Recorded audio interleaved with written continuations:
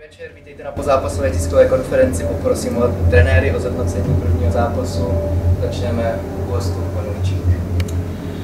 Tak eh, bylo vidět, že prostě Slávě to playoff už hraje nějakou delší dobu, že eh, to nasazení a taková ta odhodlanost tam eh, z začátku byla na jejich straně.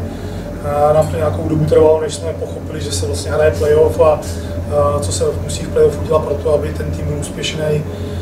Podařilo se nám zlepšenou hrou, nějakýma emocema a zvýšenou agresivitou vyrovnat zápas 2-2. Potom už rozhodla nějaká individuální akce vlastně soupeře a, a střelou, střelou přes obránce zaznamenali vítězný gól a, a jedeme domů s porážkou a s nožem na krku do dalšího zápasu.